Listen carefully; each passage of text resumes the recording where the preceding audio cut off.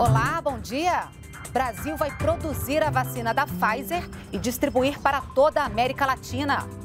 Mês de julho, com mais pessoas trabalhando com carteira assinada. Quase 317 mil vagas foram abertas no país. Saldo positivo também no campo. Ministério da Agricultura espera recorde na próxima safra de grãos. E as comemorações pelo Dia Nacional do Voluntariado. Presidente Jair Bolsonaro participa da cerimônia no Palácio do Planalto. É a partir de agora, na edição desta sexta-feira, 27 de agosto.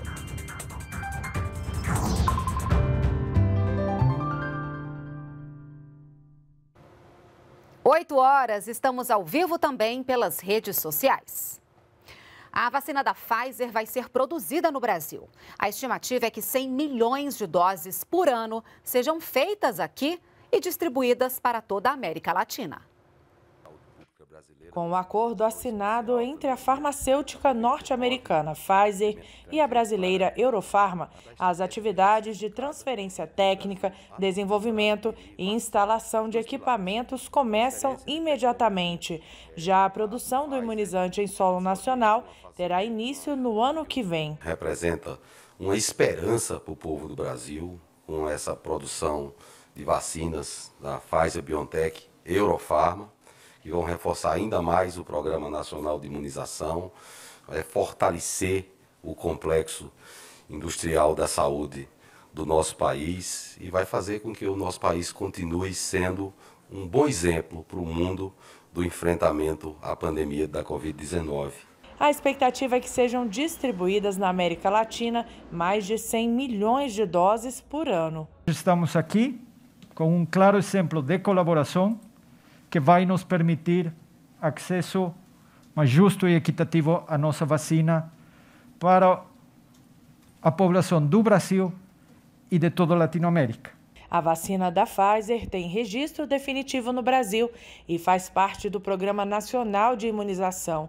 Até agora, o país já recebeu 50 milhões de doses do laboratório.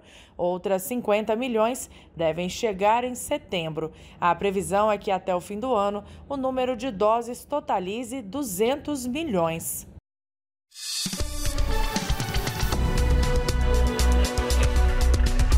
Momento Saúde. Vamos ver como está a vacinação contra a Covid-19 pelo Brasil? Olha, até agora, no total, foram distribuídas mais de 230 milhões de doses de vacinas. As doses aplicadas ultrapassam aí 186 milhões. O número de pessoas que tomaram a primeira dose da vacina é de 127 milhões 793 mil e as pessoas que tomaram as duas doses da vacina ou a dose única ultrapassa 58 milhões. Mercado de trabalho. O Brasil gerou mais de 300 mil empregos no mês de julho, segundo o Cadastro Geral de Empregados e Desempregados. No ano, cerca de 2 milhões de vagas foram criadas. Pelo sétimo mês consecutivo, o Brasil teve saldo positivo na geração de empregos. O movimento foi observado por esta contadora, que presta assessoria a pequenas e médias empresas em Brasília. Nesses dois anos foi o período que mais a gente contratou que mais a nossa empresa cresceu enquanto contratação. E eu acredito que os nossos clientes também, pela demanda que chega aqui para as admissões, cresceram também no mercado. Em julho, foram 316.580 novos postos de trabalho formal, resultado de 1 milhão 650 mil admissões e 1 milhão e 300 mil desligamentos. Todas as 27 unidades da federação tiveram resultado positivo na geração de empregos, com destaque para São Paulo, Minas Gerais e Rio de Janeiro. Saldo positivo também nas cinco áreas de atividade econômica monitoradas, com destaque para o setor de serviços e comércio. No acumulado do ano, o país se aproxima de 2 milhões de vagas de emprego criadas. Nós temos a expectativa de até o mês de dezembro nós superarmos a casa dos 2 milhões e meio de empregos formais gerados no Brasil neste ano. Entre as pessoas que conseguiram um emprego com carteira assinada está esse estudante de administração. E eu estou muito feliz porque quando você consegue o primeiro emprego, eu acredito que fica mais fácil você evoluir na sua vida profissional e você realmente consegue um amparo, né? Você consegue o seu dinheirinho, que é importante, você não precisa mais do auxílio de outras pessoas. E quem analisa esses dados do mercado de trabalho é o comentarista aqui da TV Brasil, Ricardo Caldas. Bom dia, bom dia a todos. O nosso tema de hoje é a geração de novos postos de trabalho. Saiu ontem o resultado do CAGED, divulgado pelo Ministério do Trabalho. Segundo esse número, né, segundo eh, essa publicação, foram criados mais de 300 mil novos postos de trabalho apenas no mês de julho, conforme já foi visto no vídeo que nos antecedeu. É, a razão disso é a retomada da economia, o crescimento econômico que começa agora, finalmente, a se verificar também no mercado de trabalho. O nosso mercado de trabalho, é sempre bom lembrar, é menos flexível que o mercado de trabalho norte-americano. Lá, o desemprego que era 18, mais de 18% em abril de 2020, agora, em junho deste ano, já caiu para menos de 6%, oscilando entre 5,8% e 5,9%.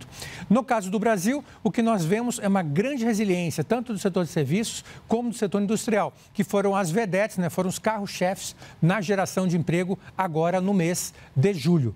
Bom, com isso, é, a expectativa para este ano é que o segundo semestre, caso repita o primeiro em termos de geração de emprego, nós teremos uma geração de pelo menos 2 milhões e meio de novos postos, podendo chegar a 3 milhões ou mais, se a gente considerar os dados anualizados deste ano. Essa é a informação que nós tínhamos para hoje. Continue conosco e tenha um ótimo dia. Foi publicada no Diário Oficial da União de hoje uma nova lei que facilita a abertura de empresas. A meta é melhorar a posição do Brasil no ranking dos melhores países para se fazer negócios. Os empreendedores brasileiros terão mais agilidade em processos burocráticos, como a unificação das inscrições fiscais para obtenção do Cadastro Nacional da Pessoa Jurídica, o CNPJ. O registro de patentes e a concessão do alvará de funcionamento serão feitos online, assim como outras atividades do dia a dia na futura empresa. Vai ser mais fácil, por exemplo, você contratar pessoas, você pagar impostos. É o caminho que nós trilhamos para que empreender, para que você que é um empreendedor obtenha crédito, consiga contratar uma pessoa, consiga vender o seu produto, você tenha mais sucesso. As pequenas empresas também terão condições de se inserirem no comércio exterior. A criação do voto plural vai permitir que empresários vendam mais de 50% de ações de suas empresas sem perder o controle do negócio. E por isso nós temos certeza que o Brasil vai crescer mais. Nós já estamos crescendo bastante, crescendo hoje de forma sustentada, porque nós crescemos com investimento produtivo e não com um voo de galinha, como às vezes acontecia, que crescia e depois decrescia. Agora o Brasil está numa trajetória de crescimento, uma trajetória de buscar oportunidades para gerar emprego. O principal objetivo da nova lei é impactar de forma positiva o desempenho do Brasil no ranking Doing Business, elaborado pelo Banco Mundial para avaliar a facilidade de investimentos em 190 países. Hoje, o Brasil ocupa a posição de número 124. Uma consulta pública aberta pelos Ministérios da Economia e das Comunicações quer ouvir a opinião da sociedade sobre os encargos do setor de telecomunicações. A consulta pública quer coletar diferentes opiniões de instituições, empresas, associações e consumidores sobre como melhorar a cobrança de encargos que incidem sobre o setor de telecomunicações. Com a iniciativa, o governo federal quer ampliar o acesso à banda larga e à inclusão digital no Brasil, oferecendo preços mais acessíveis. Eu acho que a fronteira que a gente precisa, como sociedade, se debruçar bastante é a questão da racionalização de encargos. Que todos possam trazer isso para a gente, vai nos ajudar muito nessa etapa inicial do projeto. E não se trata de validar algo que já foi concluído, mas sim de contribuir para que a gente faça um projeto que, de fato, é, se transforme numa realidade de política pública. A consulta fica aberta até 1 de outubro no Participa Mais Brasil. Os ministérios da Agricultura, o Ministério da Agricultura espera recorde na colheita 2021-2022 e lançou uma plataforma digital para ajudar os produtores rurais no monitoramento do clima, para evitar perdas nas lavouras. A Conab, Companhia Nacional de Abastecimento, apresentou a estimativa da próxima safra e espera um recorde na produção de grãos. 289,6 milhões de toneladas. Esse número é referente às culturas de algodão, arroz, feijão, milho e soja, que serão responsáveis por 94% da safra de grãos 2021-2022. Temos a previsão de mais uma safra recorde, estimada em 289,6 milhões de toneladas, com recordes na produção de milho e soja, e o Brasil permanecendo como o maior exportador de soja do mundo. A Conab ainda divulgou a projeção diária que deve ser utilizada para o plantio, a perspectiva de exportações, importações e as tendências de consumo e preço. A ministra Tereza Cristina também anunciou o lançamento do Agromet, em parceria com o Instituto Nacional de Meteorologia, uma plataforma que vai oferecer previsões de clima e tempo e ajudar a evitar perdas nas lavouras, como as que aconteceram esse ano com as geadas em algumas regiões do país. É uma ferramenta que vai possibilitar ao produtor ver as previsões do tempo pelo seu celular para a sua região. Com a disponibilização dessas informações, o governo contribui para que produtores tomem suas decisões mais orientadas e possam melhor planejar e comercializar a sua produção. Uma cerimônia no Palácio do Planalto marcou o Dia Nacional do Voluntariado, que é comemorado amanhã, 28 de agosto. São mais de 7 milhões em todo o país na maioria, mulheres com ensino superior completo e 50 anos ou mais de idade.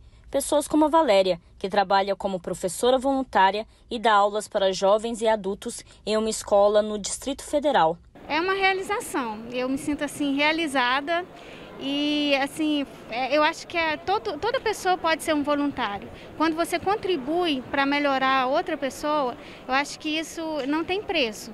Para incentivar a prática do voluntariado no Brasil, o governo federal criou em julho de 2019 o programa Pátria Voluntária, que conta com 17 mil voluntários atuando em mais de 2 mil instituições. Atualmente, 900 mil pessoas são atendidas. Nesses dois anos do programa, 1 milhão e 600 mil pessoas foram beneficiadas. Com ações de ajuda humanitária, o programa tem conseguido ajudar milhares de brasileiros que estão enfrentando dificuldades extremas devido aos efeitos negativos da pandemia, levando principalmente alimentos e água potável. Durante a cerimônia, a Casa Civil e a Fundação Banco do Brasil assinaram um acordo de cooperação técnica para a realização do Prêmio Pátria Voluntária, que será concedido a pessoas e instituições que realizam trabalho voluntário de relevante interesse social. Ações como as que ajudaram Rubens Barros, campeão brasileiro da seleção sub-20 de marcha atlética, a realizar o sonho de se tornar um atleta. O Instituto Videira, o Pátria Voluntária, me, fornecer, me fornecem e têm me fornecido suporte para viver os meus sonhos. O presidente Jair Bolsonaro falou sobre a importância do voluntariado para o país. O Brasil se orgulha disso, se orgulha desse trabalho, esse trabalho voluntário para o bem do próximo, sem esperar nada do outro lado, a não ser, obviamente, aquilo que vale mais que uma medalha, que é a gratidão. E uma última informação: a população brasileira chegou a 213 milhões 317.639 pessoas, segundo o IBGE, um aumento de 0,74% em relação ao ano passado. O Brasil em Dia termina aqui. Para você, um ótimo fim de semana e tchau, tchau.